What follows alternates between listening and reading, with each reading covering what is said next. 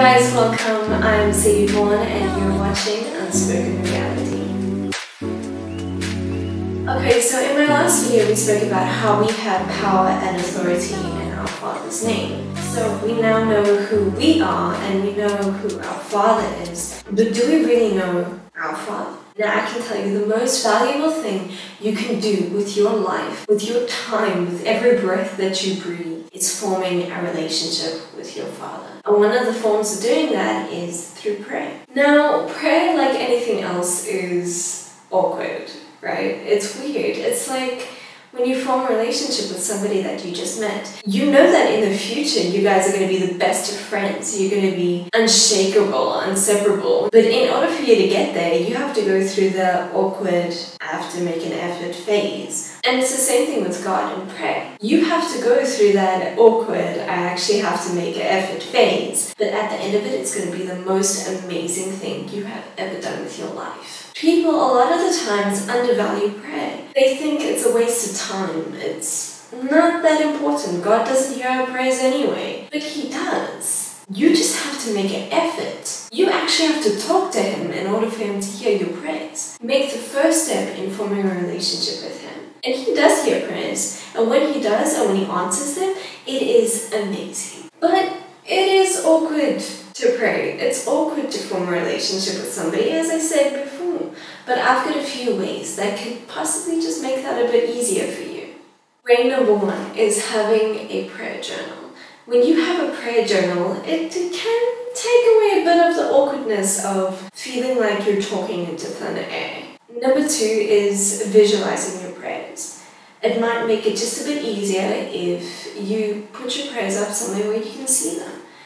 Write the things that you're praying about or the people that you're praying for on a sticky note or a pretty piece of paper and stick it up on your wall as a constant reminder that you need to be making an effort in order for those things to come true, in order for you to gain that amazing, powerful relationship with Christ.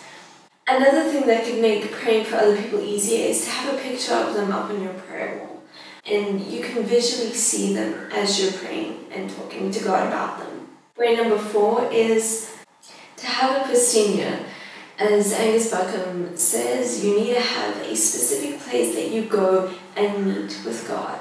Yes, you can talk to your Father anywhere and everywhere at any time of the day, but you do need to have a specific meeting place to be with Him, where you can sit and discuss life and the things in the spiritual realm with Him.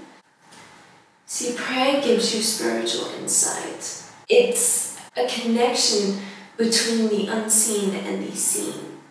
And there's stuff going on around us that we don't see. Spiritual forces, both good and evil, that are busy in people's lives and our lives. So pray. It's the most valuable thing you can do with your time.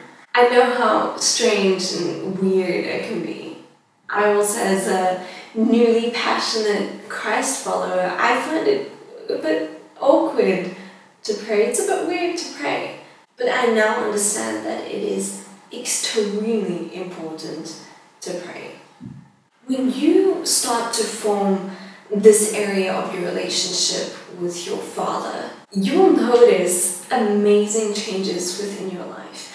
Your attitude begins to change. Your, the way you see things changes. The person who you are and who you're becoming becomes just more vibrant and beautiful.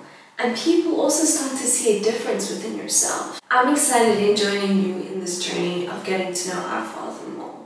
And I too am going through all the phases that you're going through. But I understand how important it is. Prayer is not only speaking to God about our problems. Please, that just reaches the edge of it, having that pleasure of telling Him about ourselves, but it's spiritual insight.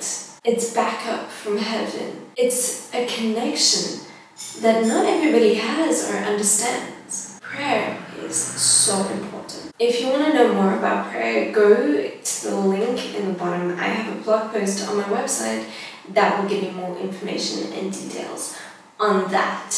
I love talking to you and I would love to hear you talk back comment, like, and subscribe. And don't forget to read the blog post I was telling you about. Looking forward to the next video. Mwah.